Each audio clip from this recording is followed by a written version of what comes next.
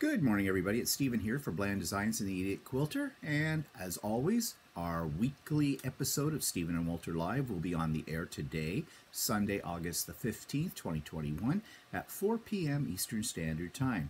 And we've had some, not a great week with my mother uh, again. And so you're probably tired of me talking about her, but I'm going to talk about her. But we're going to talk about other things too what we've been making, what we've been up to, um, looking at my notes yeah, there's lots of things that we want to talk about uh, today. So I hope you'll join the conversation and uh, ask us any questions or give us any comments or whatever. Make it a two way street, okay, as far as interactive video is concerned.